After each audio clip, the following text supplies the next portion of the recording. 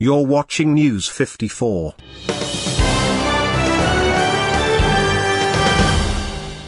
The Deputy President William Ruto was forced to request for his car to stand on top after mammoth of people attend his rally in Turkana.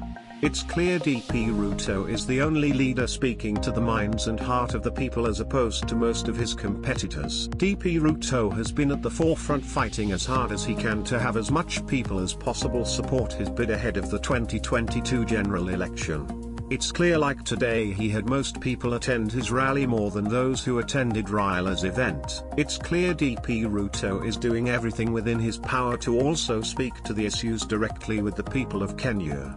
It's clear as we move into the future Ruto is winning the support of the people owing to his extreme communication skills. However it's a fact only time will tell of what will unfold moving forward for clearly we live in interesting times. The fact of the matter is that Ruto has been speaking to issues and more on things that can directly empower hustlers moving forward.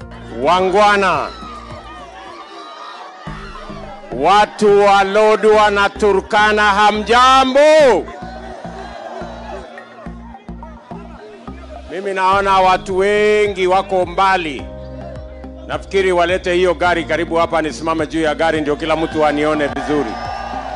Songesha hiyo gari kuja hapo karibu, ndio niongee na watu wa Lodwar. Naona wengine wako mbali, wanatafuta huyu hasla ako wapi? We, wapi hiyo mtu asongeshe gari hapo? Very good, songesha songesha.